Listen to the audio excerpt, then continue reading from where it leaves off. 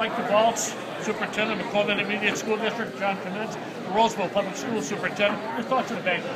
First of all, it's a, it's a real tribute, and we're so grateful that the, that the uh, Macomb Daily has been a long-time supporter of this program. It's valuable to all of us.